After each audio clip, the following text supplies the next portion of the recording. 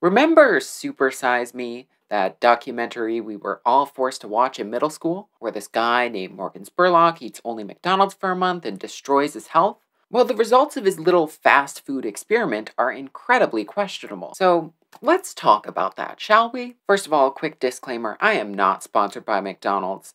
I'm poor. I'm also not here to say McDonald's is good for you because most of the items on their menu are terrible for your health. Now that I've got that out of the way, let me give you a quick recap of Super Size Me if you haven't recently watched it. And you can use the chapters feature to skip this part if you have. In the film, documentarian Morgan Spurlock set out to see how McDonald's would affect his body. Per the rules, he could only eat McDonald's three meals a day for 30 days, no exercise, and had to supersize his order if the cashier asked him to. His doctor said he was healthy enough to withstand the diet, minus some weight gain, but spoiler alert, they were completely wrong. He gained over 20 pounds. His cholesterol skyrocketed by 65 points. He developed various mental health problems fatty liver, heart palpitations, headaches, stomach aches. His doctors were appalled at the damage that McDonald's was doing to his body and warned him to stop, but he continued, at great expense to his health.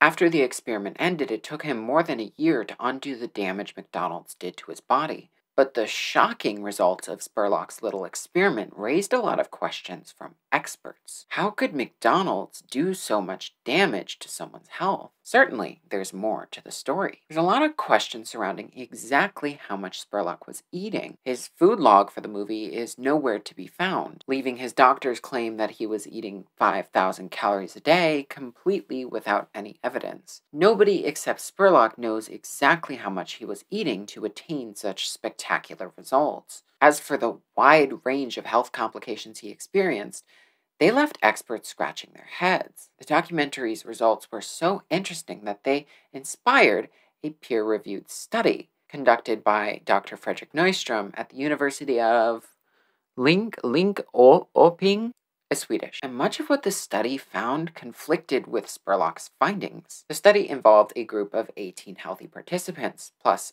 18 others as a control. While the control group would eat as normal, the other group was instructed to eat only fast food. And instead of Spurlock's 5,000 calories a day intake, they were forced to eat 6,000 calories a day. And just like Spurlock, they weren't allowed to exercise. Of course, they gained weight, and a lot of it, but not quite as much as Spurlock did. The average man in the study only gained about 15 pounds. That's 9 pounds less than what Spurlock gained, despite their daily caloric intake being 1,000 calories greater than the 5,000 calories Spurlock was allegedly eating daily. Although it's worth noting that those aren't percentage increases in weight, and Spurlock is rather tall. But here's where the study really deviates from Spurlock's findings. Besides the subjects gaining weight and a few cholesterol points, none of the subjects in Dr. Nystrom's study developed any of the serious complications that Spurlock experienced. Their livers didn't get fatty, they didn't experience any mental health problems, or heart palpitations,